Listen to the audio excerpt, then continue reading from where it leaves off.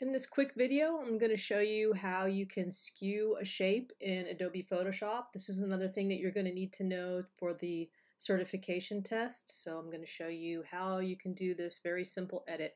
So make sure, first of all, that you're on the layer that has the rectangle, okay? And then go up to Edit, Transform, Skew. Edit, Transform, Skew. Click on that and when you do, you'll see it gives you these transform boxes up here so you know that it's ready to be edited. But if you go at the top up here and you see this H and the V, see when I hover my mouse in there it says set horizontal skew. So if you're not sure where to do it, you can usually hover your mouse somewhere and it will tell you where. So H horizontal. So it said by giving it a horizontal skew of 5. So I'm going to go in here and I'm just going to type in 5. And then it said a vertical skew of 7. So obviously the V means the vertical, and when I hover my mouse it says set vertical skew, so I'm going to put 7, and then when I'm done I just press the check mark.